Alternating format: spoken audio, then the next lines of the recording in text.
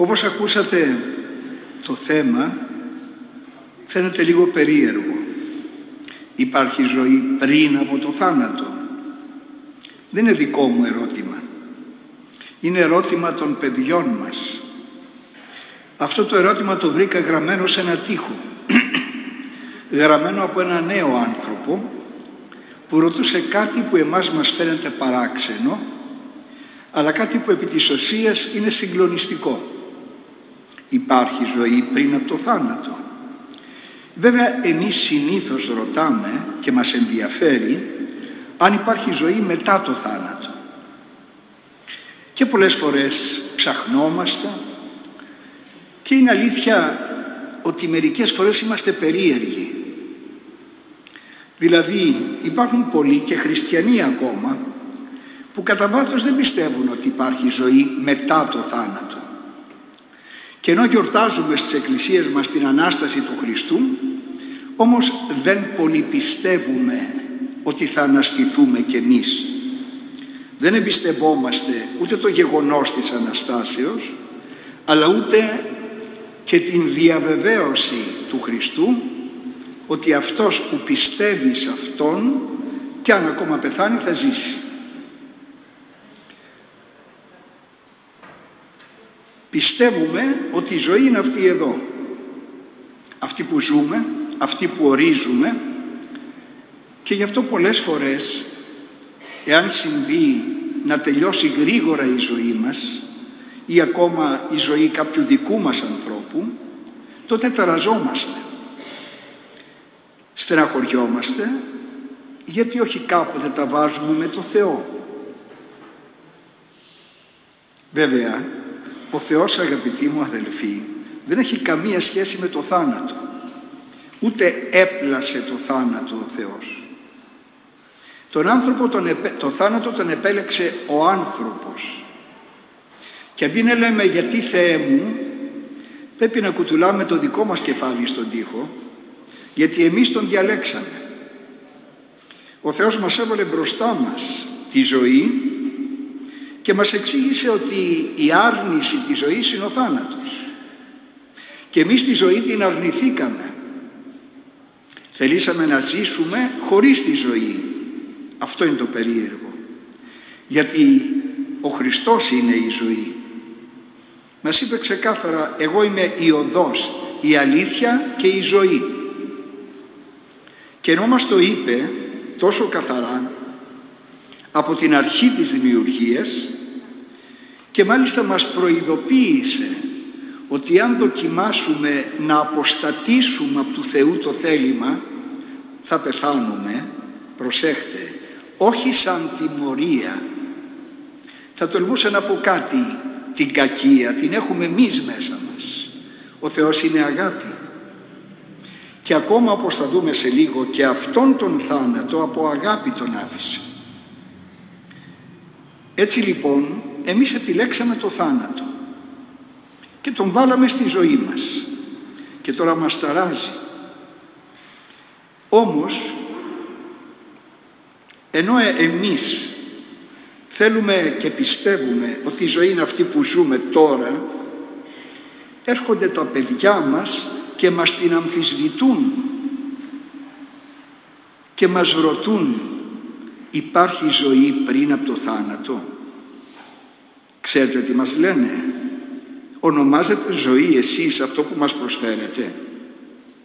Ποιο είναι το νόημα αυτής της ζωής; Να βασανίζεται ο άνθρωπος; Και για να καταλήξει πού; Στο μηδέν και στο πουθενά. Έχετε σκεφτεί αγαπητοί αδελφοί τι είναι ο άνθρωπος χωρίς το Θεό. Είναι επί της ουσίας ένα ζώο που δεν έχει μέλλον και που σε αυτή τη ζωή κυνηγάει απλά και μόνον σανό για να φάει. Ζώο τον είπα. Όχι υβριστικά αλλά πραγματικά απλά ζούμε.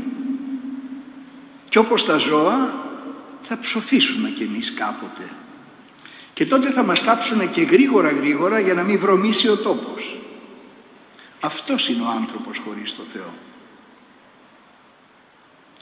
Και τα παιδιά μας ρωτάνε αυτή ονομάζεται ζωή; Και ψάχνουν.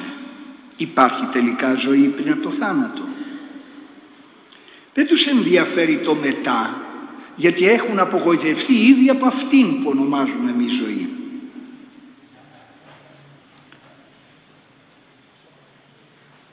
Έτσι πρέπει θα μου πείτε και ποιος είναι ο άνθρωπος μαζί με το Θεό. Και εγώ θα σας δείξω αυτούς τους δύο Αγίους τα Ιερά Λείψανα των οποίων βρίσκονται μπροστά μας. Και θα δούμε τι. Ότι και εκείνοι πέθαναν όπως και εμείς. Γιατί ήταν άνθρωποι όπως είμαστε όλοι μας. Όμως αυτοί πεθαίνοντας δεν έγιναν ένα ψόφιο κουφάρι αλλά ένα ιερό λείψανο. Και από την άλλη πλευρά δεν βρωμάει το λείψανό τους, ευωδιάζει και θαυματουργεί. Γιατί αυτή η ζωή που απέκτησαν κοινωνώντας με τον Χριστό δεν μπορεί να σβηστεί. Αντίθετα λαμπρύνεται και φαίνεται ότι αυτή είναι πιο ζωντανή από μας γι' αυτό και εμείς τρέχουμε σε αυτούς. Και μάλιστα τρέχουμε ιδιαίτερα όταν έχουμε πια απελπιστεί από μας τους ζωντανούς. Περίεργο τρέχουμε στους πεθαμένους εξωτερικά. Αλλά η χάρη του Αγίου Πνεύματος έχει ποτίσει ακόμα και τα κόκαλά τους.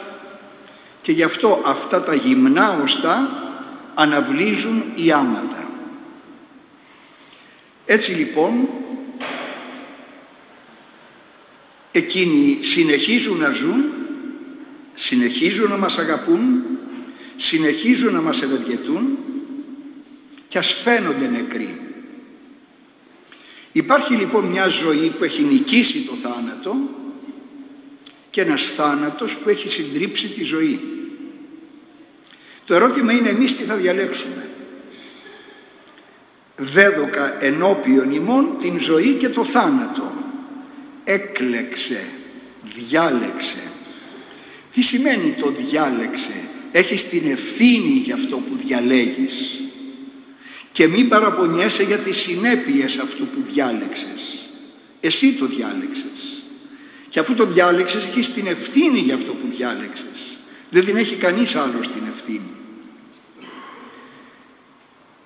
Υπάρχει λοιπόν ζωή μετά το θάνατο. Όλη η Εκκλησία μας μιλάει για τη ζωή που δεν την απειλεί κανείς θάνατος. Όμως ζώντας μια ζωή χωρίς τη ζωή τότε γινόμαστε τόσο φτηνοί γιατί αν το καταλάβατε ο άνθρωπος χωρίς το Θεό και προσέχτε η λέξη που θα πω δεν είναι υβριστική. Μακάρι να ήταν είναι. Οντολογική που σημαίνει αποδίδει καθαρά αυτό που είναι ο άνθρωπος. Τι είναι; Ένα σκουπίδι. Εκεί καταλήγουμε στο τέλος. Ένα ψόφιο κουφάρι που το θάβουμε και γρήγορα. Αυτό λοιπόν μας λένε τα παιδιά μας τα σκουπίδια τα ονομάζεται ζωή.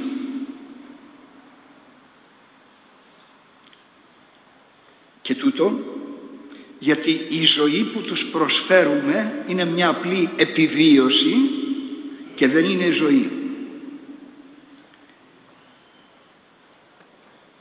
Εμείς λοιπόν και η Εκκλησία ξέρει πολύ καλά ότι ο Χριστός είναι η ζωή μας και μετά το θάνατό μας πορευόμαστε για να τον συναντήσουμε. Γι' αυτό και η Δευτέρα παρουσία είναι όχι ο φόβος αλλά η χαρά των χριστιανών. Και θα σας πω και κάτι που ίσως σας ξαφνιάσει. Για τον άνθρωπο που σε αυτό τη, τη ζωή ζει και κοινωνεί με τον Χριστό ο θάνατός του είναι γιορτή, είναι πανηγύρι, εμείς κλαίμε. Βέβαια είναι ανθρώπινο να λυπάσαι γιατί χωρίζεσαι. Αλλά πέστε μου γιατί ζείτε; Εάν δεν ζείτε για να εισέλθετε στη Βασιλεία του Θεού μην παραπονείστε σκουπίδια είστε. Και εσείς και εγώ και όλοι μας. Γιατί αυτό είναι το νόημα της ζωής μας. Να καταφέρουμε να μπούμε στη Βασιλεία του Θεού κάποτε ένα παιδάκι του Δημοτικού με ρώτησε μου λέει Πάτερ τι είναι ο παράδεισος, τι είναι η κόλαση, υπάρχουν αυτά; Του λέω λοιπόν πρόσεξε καλά τι θα σου πω. Υπάρχει ένας άνθρωπος που σε αγαπάει. Υπάρχει ένας άνθρωπος που σε έχει ευεργετήσει και σένα και τους γονείς σου και όλους σας. Υπάρχει ένας άνθρωπος που σας έχει κάνει πάρα πολύ μεγάλο καλό και τον αγαπάς κι εσύ. Και μαθαίνεις ότι αυτός ο άνθρωπος έρχεται στο σπίτι σου. Τι νιώθεις; Και το παιδάκι αυθόρμητα λέει μα χαρά πάτερ μπράβο παιδί μου. Τώρα λέω πρόσεξε με καλά. Υπάρχει αυτός ο άνθρωπος που σε αγαπάει που σε φροντίζει που σε προσέχει που σε έχει ευεργετήσει. Αλλά εσύ αυτόν τον άνθρωπο τον έβρισες τον αδίκησες και σου πέρασε και από το μυαλό να τον σκοτώσεις και μαθαίνεις ότι αυτός έρχεται τώρα να σε δει τι νιώθεις; Και το παιδάκι αυθόρμητα «Πάτερ, δεν θα έχω μούτρα να τον δω». Του λέω παιδί μου καλύτερη περιγραφή της κόλασης από αυτό που είπες δεν υπάρχει. Διότι τι είναι η κόλαση, δεν είναι από το Θεό η κόλαση, η κόλαση είναι σε εμάς. Είναι το να βλέπεις το Θεό που είναι αγάπη και την ακτινοβολή και εσύ αντί να χαίρεσαι να υποφέρεις. Σας φαίνεται παράξενο; Και σήμερα υπάρχουν άνθρωποι που δαιμονίζονται άμα τους αγαπάς. Και ενώ εκείνοι πάνε να σου κάνουν κακό και εσύ συνεχίζεις να τους αγαπάς, δαιμονίζονται απίστευτα. Δεν αντέχουν τη ζωή που είναι η αγάπη. Γιατί είναι ανίκανοι να τη ζήσουν οι ίδιοι. Και εσύ τους δείχνεις ότι υπάρχει αυτή η ζωή και η αληθινή ζωή είναι αγάπη. Ο Θεός που είναι η όντως ζωή είναι αγάπη.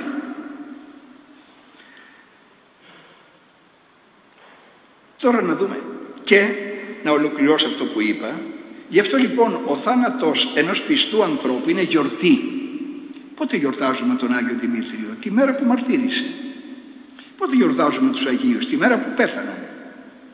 Γιατί τότε η ζωή τους ασφαλίστηκε μια για πάντα στην τράπεζα της ζωής που είναι ο Χριστός.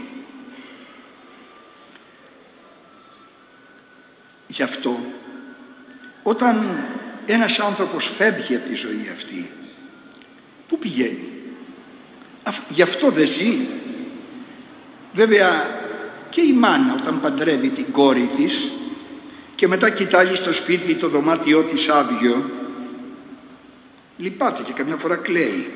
Αλλά μετά χαίρεται γιατί παντρεύτηκε γιατί αυτή ήταν η αποστολή της και το καθεξής.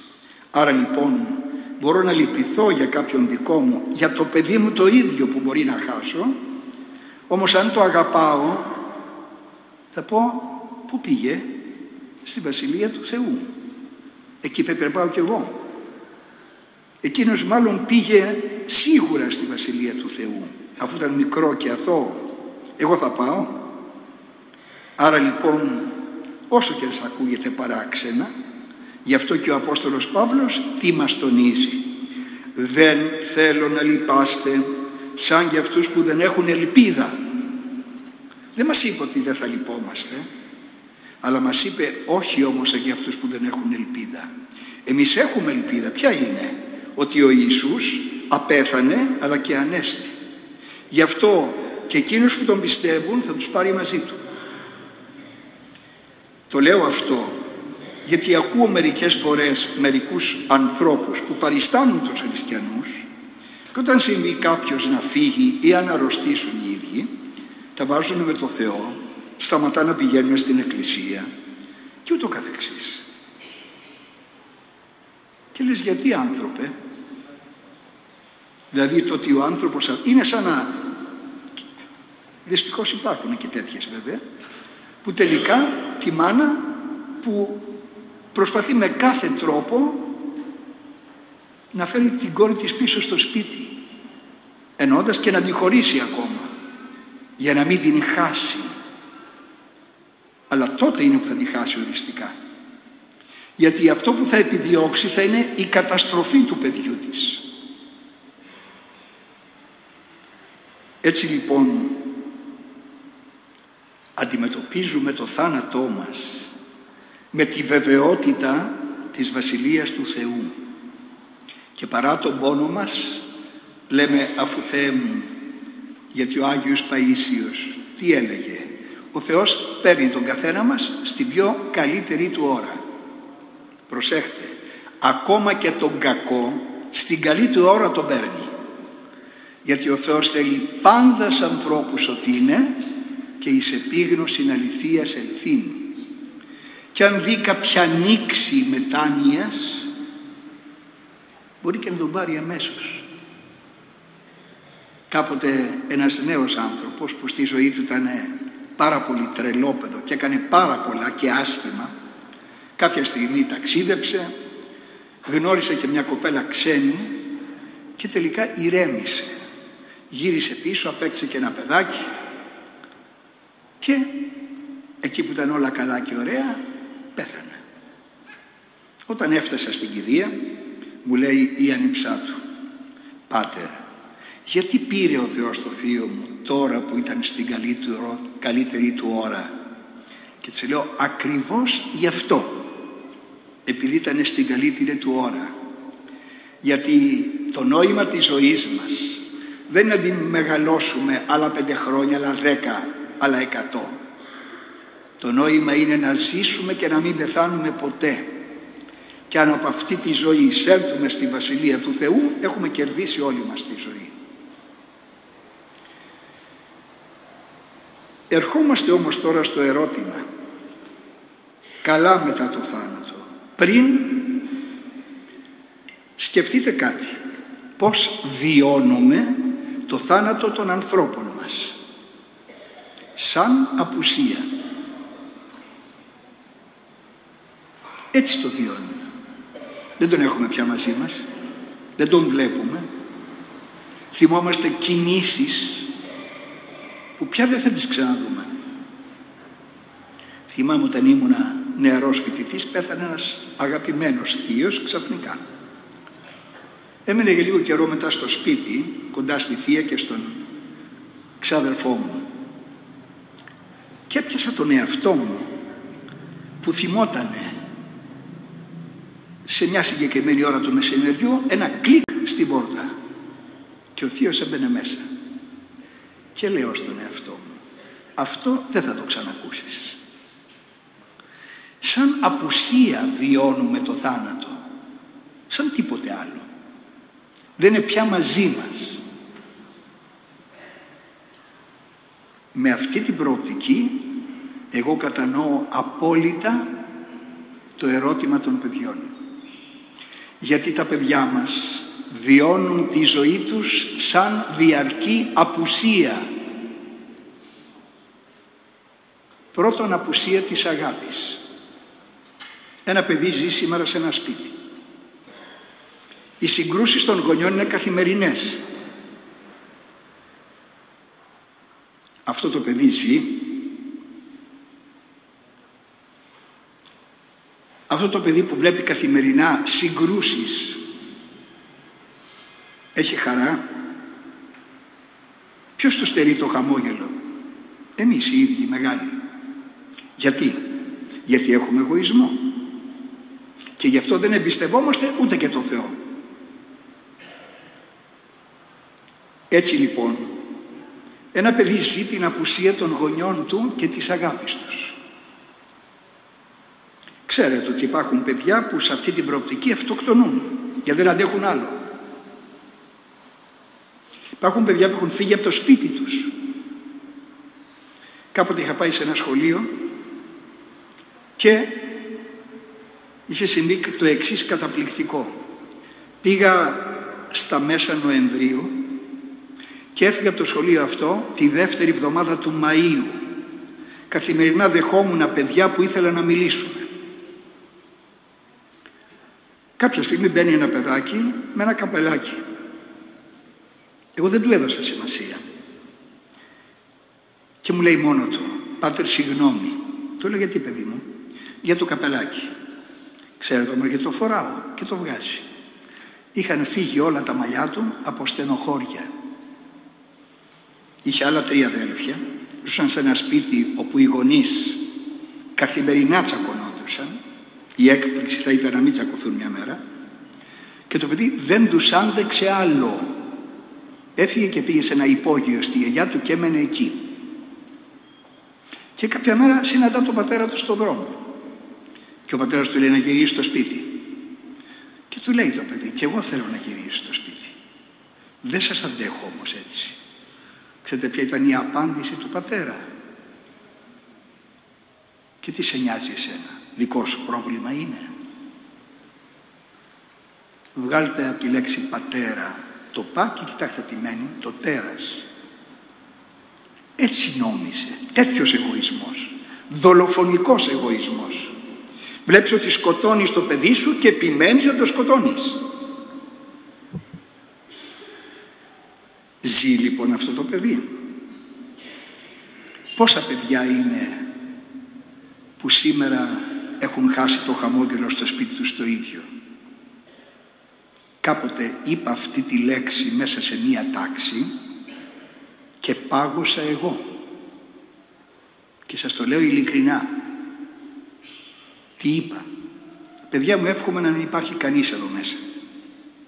Αλλά ξέρω ότι υπάρχουν παιδιά που έχουν χάσει το χαμόγελο μέσα στο ίδιο τους στο σπίτι. Και ξαφνικά βλέπω 40 μάτια παιδιών αφού αφήνουν ό,τι και αν έκανε και την ώρα να καρφώνονται κυριολεκτικά στο στόμα μου. Και έτσι έμειναν μέχρι το τέλος. Πάγωσα γιατί εγώ είπα για μερικά παιδιά και εδώ έβλεπα όλα να παγώνουν σε αυτό το άκουσμα. Και πρέπει να σε εξομολογηθώ και κάτι άλλο που κάνω. Είναι λίγο πονηρό. Αλλά θέλω πια να ξέρω. Το λέω πολλές φορές από εκείνη την ημέρα σκόπιμα. Το τραγικό είναι ότι έχω πάντα την ίδια αντίδραση. Αν θέλω να κάνω τα παιδιά να σταματήσουν οτιδήποτε και να με κοιτάνε στα μάτια, θέτω αυτό το ερώτημα. Και όλα, θυμάμαι μια άλλη φορά, είχα μπει σε μια τάξη. Τα παιδιά τα περισσότερα παρακολουθούσαν μια συζήτηση που κάνανε. Βλέπω στην τελευταία σειρά, τη δεξιά, στο τελευταίο θρανείο, δύο παιδιά που συμπεριφέρονται σαν να μην υπάρχει κανείς άλλος μιλάνε, συζητάνε. Το μυαλό δουλεύει και μου μπαίνει το ερώτημα τι συμβαίνει. Οπότε αλλάζω την κουβέντα ελαφριά και λέω το ίδιο πράγμα. Σαν να χτύπησε αυτά τα παιδιά ηλεκτρικό ρεύμα και τα δύο μαζί και βλέπω ξαφνικά να τεινάζουν το κεφάλι τους και να κάνουν ένα τέτοιο πράγμα. Τρομερό. Τι ζουν αυτά τα παιδιά. Απουσιάζει λοιπόν από τη ζωή τους πρώτα η αγάπη. Γιατί τη σκοτώσαμε εμείς οι μεγάλοι. Δεύτερον, με ρωτάνε πολλά παιδιά. Υπάρχουν σήμερα φίλοι. Και εγώ τους λέω παιδιά σας λυπάμαι μόνο που με ρωτάτε. Γιατί εγώ στη δική σας ηλικία έισα τη δωρεά μιας φιλίας που κρατάει μέχρι σήμερα. Και αυτό το οφείλουμε σε ένα παππούλι που ζει ακόμα που μια μέρα που μας είδε κάποια τριανταριά παιδιά τότε Δευτέρα Τρίτη Γυμνασίου να είμαστε μαζί μας κοίταξε λέει παιδιά χαίρομαι που είσαστε φίλοι εγώ μια κουβέντα θα σας πω και θα φύγω η φιλία σας θα κινδυνεύσει μόνο από τον εγωισμό σας Γεια σας παιδιά μου. Και εμείς όταν είμαστε έτοιμοι να το διαλύσουμε κοκαλώσαμε. Τι μας είπε; Η φιλία σας θα κινδυνεύσει μόνο από τον εγωισμό σας. Συμφωνήσαμε ότι είχε δίκαιο.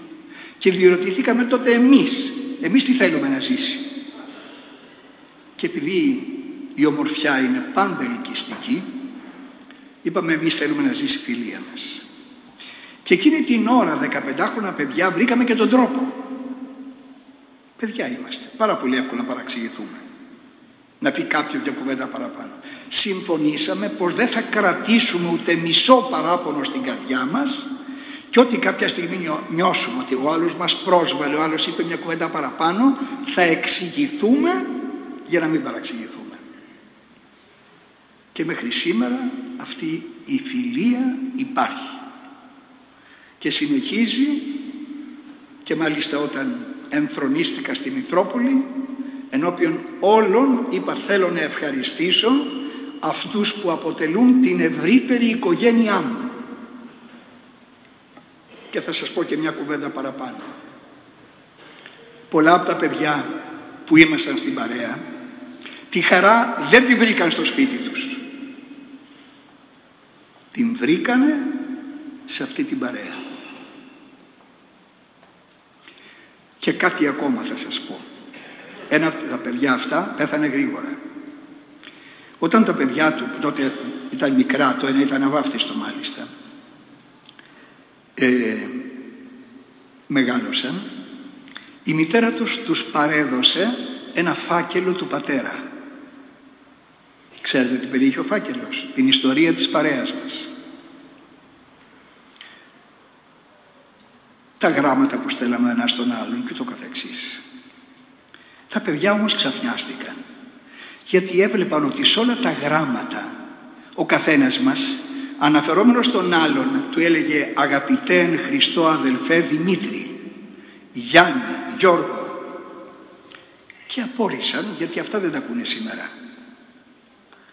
Και σου λέει καλά παιδιά ήταν, παπάδες ήταν και το είπαν στη μάνα τους η μάνα τους μου το είπε λέω καλά έκανες θα τους απαντήσω εγώ και μια μέρα που βρέθηκα εκεί το μεσημέρι για να φάμε μαζί, λέω παιδιά έμαθα ότι η μητέρα σας έδωσε το φάκελο του πατέρα σας. Ναι μου λένε. Και έμαθα ότι υπάρχει κάτι που σας έκανε ιδιαίτερη εντύπωση. Ότι ενώ ήμασταν παιδιά προσφωνούσαμε ένας στον άλλον όχι ούτε φίλοι ούτε τίποτα. Αγαπητέ εν Χριστώ αδελφέ. Μου είπαν και τα δύο παιδιά ναι πρέπει να πούμε ότι μας παραξένεψε. Και τους είπα παιδιά αν αυτή η φιλία μας που την έχετε εσείς και εσείς άντεξε όλα αυτά τα χρόνια το οφείλει σε αυτές τις τρεις λέξεις που δεν μας άφησε να τσακωθούμε γιατί αυτό που μας είχε συνδέσει ήταν η κοινή σχέση μας με τον Χριστό ο άλλος λοιπόν ήταν ο αγαπητός αδελφός τη λέξη εύκολα τη λέμε αλλά που αυτή τη σχέση την είχε σφυριλατήσει η κοινή σχέση του καθενός μας με το πρόσωπο του Χριστού. Και γι' αυτό σε αυτές τις τρεις λέξεις δεν υπάρχει η παραμικρή υπερβολή.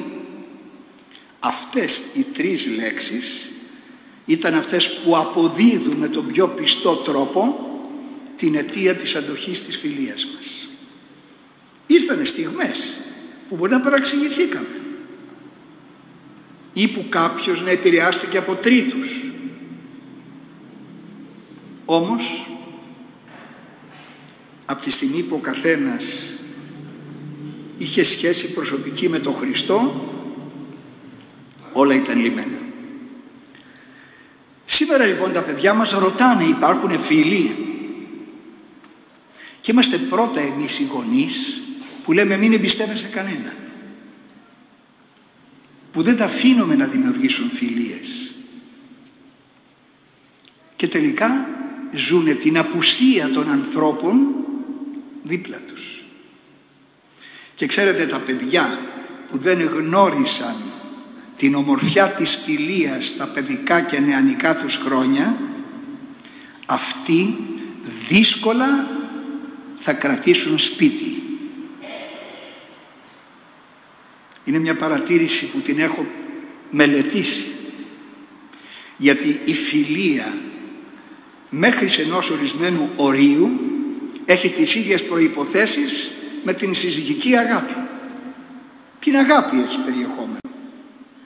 Και ένας που δεν έχει μάθει να αγαπά τους φίλους του, δεν αγαπά ούτε αυτόν που διαλέγει. Σήμερα έχουμε, θα την πω, μόδα. Πάρα πολλά νέα παιδιά. Σήμερα παντρεύονται και κάνουν και ακριβούς γάμους για να ικανοποιήσουν κυρίως τις φιλοδοξίες των γονιών αλλά και τις δικές τους και πριν χρονίσει ο γάμος τους και το εννοώ πριν χρονίσει ο γάμος τους έχουν χωρίσει γιατί; Γιατί δεν έχουν μάθει να αγαπάνε γιατί τα μεγαλώσαμε και τα κάναμε εγωιστές για να μην σας πω τι συμβουλεύουν κυρίως οι μητέρες τα παιδιά τους, το αγόρι και το κορίτσι ο καθένας. Κοίταξε να πάλι τον αέρα. Και το θεωρούμε ότι αυτό είναι έξυπνο. Αλλά αυτό είναι απίστευτα. Πρώτον εγωιστικό. Γιατί είναι σαν να του λέμε κανείς δεν θα σε αγαπήσει πιο πολύ από τη μάνα σου. Κι όμως υπάρχουν άνθρωποι που αγαπάνε. Άλλωστε άλλη είναι η φύση της η αγάπης της μάνας και των γονιών και άλλη μέσα σε ένα ζευγάρι. Διότι όταν κάποιος λέει για μένα την πρώτη θέση μου έχει συμβεί κάποιος που επέμενα να τον παντρέψω και στο, γάμο, στο χρόνο ακόμα μου χώρισε. Ποιος ήταν ο λόγος. Είπε στη γυναίκα του για μένα την πρώτη θέση στη ζωή μου την έχουν οι γονείς μου. Τον φώναξα και δεν ήρθε. Και του έγραψε ένα γράμμα. Και του είπα εάν την πρώτη θέση στη ζωή σου την έχουν οι γονείς σου έκανες πάρα πολύ άσχημα που παντρεύτηκες και μην δοκιμάσεις να ξαναπαντρευτείς. Και δεύτερον, αν οι γονείς σου είναι ευχαριστημένοι με αυτό, να τους συλληπιθείς εκ μέρους μου. Γιατί αποδείχθηκαν ανίκανοι να σε αγαπήσουν αληθινά. Γιατί αν δεν αγαπάμε το παιδί μας έτσι, ώστε να σταθεί στα πόδια του και να φύγει από κοντά μας, τότε δεν τα αγαπάμε. Είναι κτήματά μας και όχι ελεύθερες προσωπικότητες. Ζει την απουσία της φιλίας. Ζει την απουσία των ανθρώπων γύρω του. Και τελικά ζει μια ατμόσφαιρα θανάτου. Πάνω απ' όλα το είπα, ζει την απουσία της αγάπης. Και χωρίς αγάπη η ζωή δεν έχει νόημα. Ο άνθρωπος βασανίζεται, υποφέρει, τρώγεται με τα ρούχα του τα ίδια. Δικαιολογημένα λοιπόν διαρωτάτε, αυτό ονομάζεται ζωή. Το να ζω μέσα σε ένα σπίτι που διαρκώς έχει καυγά, σύγκρουση, που ένας υπονομεύει τον άλλον, ναι. που μπορεί το καριτσάκι να πάει να πιει ένα καφέ με ένα αγόρι και να βλέπει τον πατέρα της με τη συμμαθήτριά της. Ποια ζωή μιλάμε; Και γιατί να είναι ευχαριστημένο από τη ζωή του; Θα είναι ευχαριστημένο μόνο όταν είναι ζώο και έχει σανό να φάει. Και γι' αυτό βλέπετε την άλλη πλευρά των παιδιών που χειρίζονται τους γονείς απίστευτα. Τους εκβιάζουν, τους εκδικούνται για όσα τους στέρισαν και τους απομυζούν διαρκώς.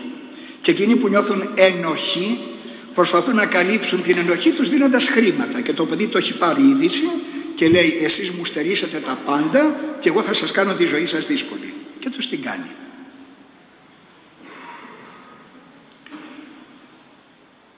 Την Κυριακή προχτές, εχθές μάλλον, λειτουργήσε στον Όσο Ιωάννη το Ρώσο. Μίλησα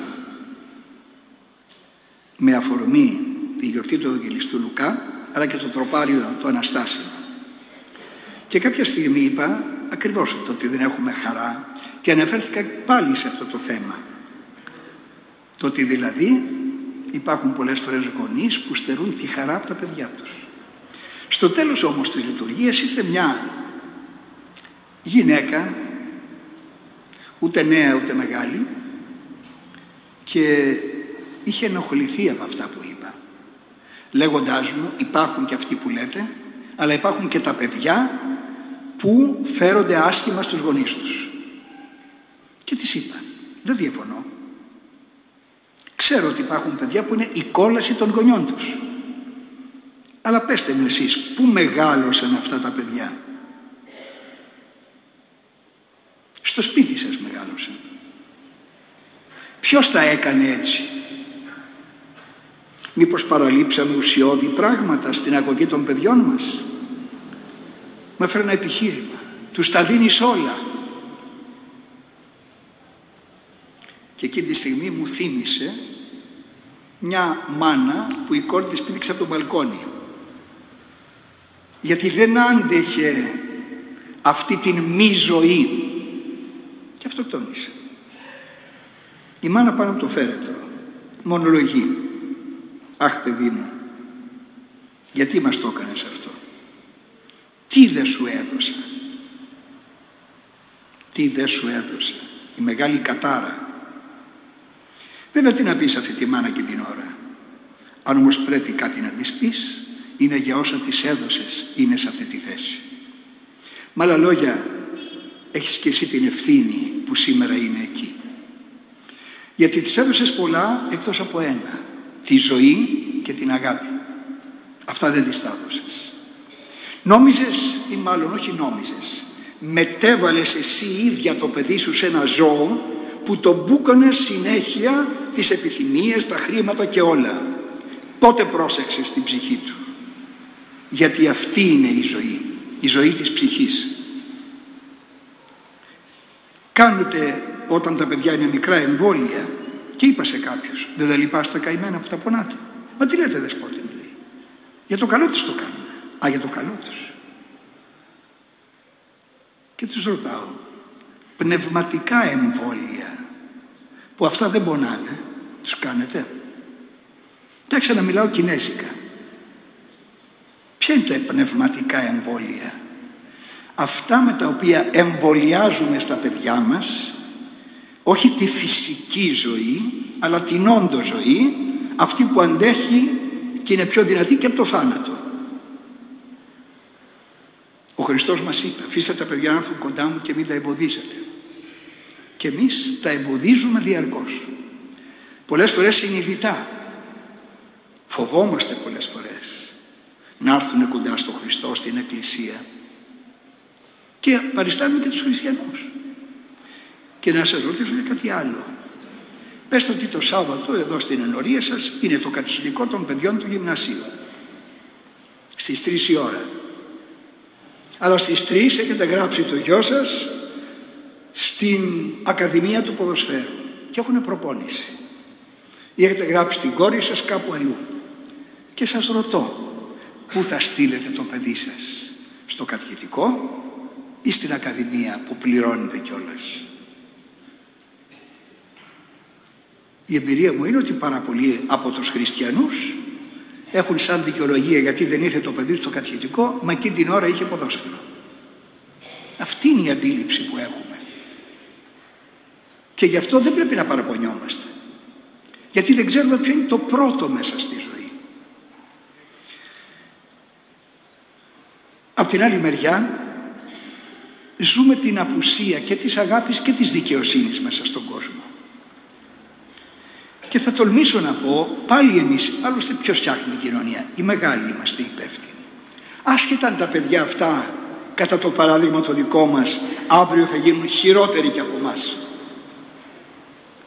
Οπότε λοιπόν τι γίνεται; Υπάρχει λοιπόν ζωή πριν από το θάνατο. Ναι. Η ζωή μετά το θάνατο είναι ο Χριστός και η ζωή πριν από το θάνατο είναι πάλι ο Χριστός.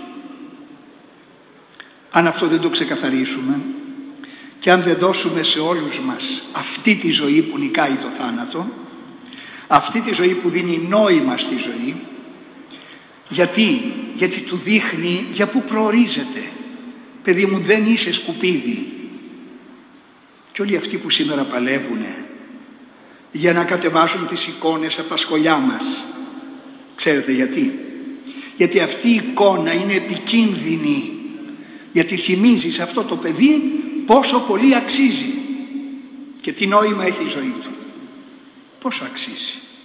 Τόσο ώστε ένας Θεός έγινε άνθρωπος για χάρη του. Αυτό όμως τον κάνει μοναδικό. Οι έμποροι, οι ποικίλοι έμποροι και των παιδιών μας θέλουν να χαμηλώσουν το μέτρο της αξίας και να τους κάνουν αντικείμενα και εμπορεύματα για όλων των λογιών της αγορές.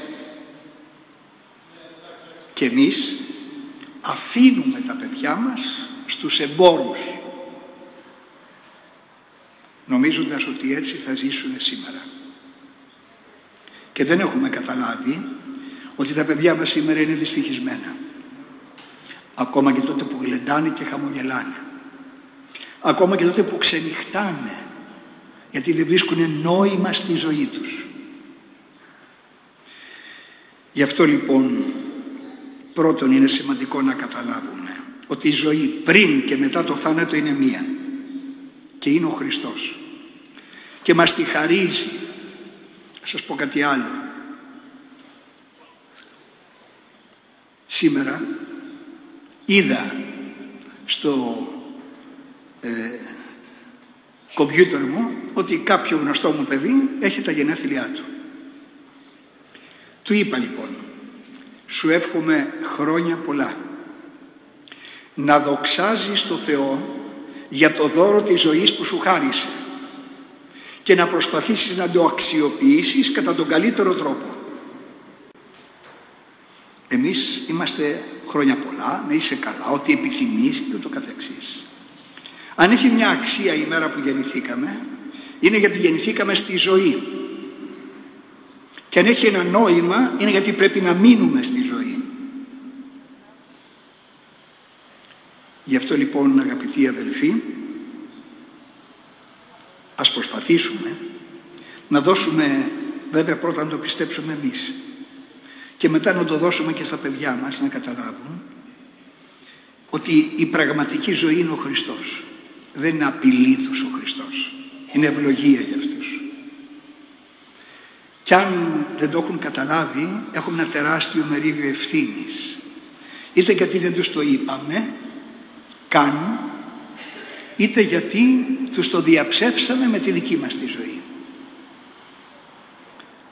Και να τελειώσουμε ένα περιστατικό. Μου λέει ο δάσκαλος του σχολείου πάνω στη Σιάτιστα. Σεβασμιότατε, δεν μπορώ πια να πω σε ένα παιδί, έλα παιδάκι μου, όπως λέγαμε παλιά, να πεις στο πατερημόν στην πρωινή προσευχή. Του λέω γιατί. Γιατί υπάρχουν πολλά παιδιά μου λέει που δεν το ξέρουν. Και σας ρωτώ, εμείς που το μάθαμε. Το μάθαμε στο σχολείο. Το ξέραμε πριν πάμε στο σχολείο. Μας το μάθει η μάνα μας, ο πατέρας μας, ο παππούς, η γιαγιά. Έχετε καταλάβει τι θα πει ότι ένα παιδάκι δεν ξέρει τον πατερημόν. Ότι σε αυτό το σπίτι μέσα δεν ακούστηκε ποτέ λόγος προσευχής. Άρα λοιπόν αυτό το σπίτι έχει καταδικάσει τη ζωή του παιδιού να είναι θάνατος. Και τότε δεν πρέπει να παραξενευόμαστε. Τάξε τον κόπο να σας πω και ακόμα ένα συγκλονιστικό για να δώσετε και μια ερμηνεία σε μερικά πράγματα αντί να τα βάζουμε με το Θεό. Πεθαίνει ένα παιδί. Είναι λίγο σκληρό αυτό που θα πω. Έχετε σκεφτεί ποτέ ότι ο Θεός το πήρε για να το πάρει μακριά από τους γονείς του; Θα σας το πω από αυτόν που το είπε και το αναγνώρισε. Όταν ήμουν φοιτητής, εδώ στην Αθήνα ήμουνα, διακονούσα σε κάποια ενορία. Εκεί λοιπόν ήταν ένας επίτροπος που ήταν και γιατρός. Ένα βραδάκι βρεθήκαμε οι δυο μας και μου λέει δεν σου έχω πει εσένα την ιστορία μου. Του λέω όχι, αν και κάτι είχα ακούσει. Μου λέει εμένα που με βλέπεις, όχι μόνο δεν πίστευα στο Θεό. Λέω και η γυναίκα μου και εγώ περνάγαμε δίπλα σε παπά, πατάγαμε τον γκάζι για να μαρσάρουμε και να τον σκονίσουμε. Ο Θεός μας χάρισε ένα παιδάκι. Και εκτός από την ημέρα που το βαφτίσαμε, δεν το ξαναπήγαμε στην εκκλησία, δεν το ξανακοινωνήσαμε, τίποτα απολύτως. Όταν το παιδί μου έγινε 9 χρονών, ένα Σάββατο με παίρνει η γυναίκα μου στην κλινική και μου λέει το παιδί ξύπνησε και ζητάει επίμονα να κοινωνήσει. Να κοινωνήσει; Ποιος του είπε τέτοια πράγματα; Κανείς δεν το είπε, αλλά αυτό συμβαίνει. Αφήνουν την κλινική, γυρίζουν στο σπίτι. Το παιδάκι πραγματικά ζητούσε επίμονο να κοινωνήσει. Όταν ξυπνήσαμε εμείς, την ώρα εκείνη ήταν 12. Γυρίσαμε τις εκκλησιές όλες κλειστά. Φτάσαμε στα Σπάτα. Εκεί ήταν ανοιχτό το προσκύνημα. Το είπαμε στον παπά. Και ο παπάς μας είπε, αφού το παιδάκι θέλει να κοινωνήσει, θα το κοινωνήσω. Τότε εγώ θυμήθηκα τι μου λέγει η μάνα μου και λέω, Πάτερ, να το αφήσουμε σήμερα, να νηστέψει απόψε και αύριο, γιατί τώρα έχει φάει. Και ο παπάς μου λέει, αφού το παιδί θέλει να κοινωνήσει, θα το κοινωνήσουμε τώρα. Και το κοινώνεις. Και γυρίσεις στο σπίτι σου. Και σε έξι ώρα το απόγευμα το παιδάκι πέθανε. Χωρίς να έχει απολύτως τίποτα. Μου είπα δεν θα ξημερώσει άλλη μέρα για μένα. Ξημέρωσε. Και άρχισα να σκέπτομαι. Και είδε ότι ήταν το τρίτο γράμμα που ο Θεός μου έστελνε για να ξυπνήσω και δεν το είχα καταλάβει. Πήγα σε έναν ιερέα, εξομολογήθηκα, από το άλλαξε η ζωή μου. Ξέρω μου λέει, ο Θεός το πήρε για να το γλιτώσει από μας. Και όταν το λέει ο ίδιος ο πατέρας δεν σου μένει να πεις τίποτα. Τώρα ξέρω που είναι το παιδί μου, είμαι ήσυχος και ζω στον δρόμο του Θεού. Αγαπητοί αδελφοί, είμαστε τόσο κλεισμένοι στον εγωισμό μας και είμαστε τόσο νεκροί εμείς και τι είπα, το ψόφιο κουφάρι βρωμάει και εμείς βρωμάμε.